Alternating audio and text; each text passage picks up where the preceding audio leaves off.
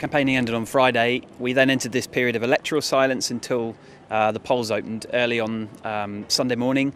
We don't expect there to be too many people turning up early in the day, and that is mainly because uh, in a country where a large majority of people still identify themselves as religious, they go to places like this first, this church behind me in central Warsaw, and then through the day, uh, many people will head on uh, to cast their vote in an election which many here and across uh, Europe are seeing as a pivotal election for Poland.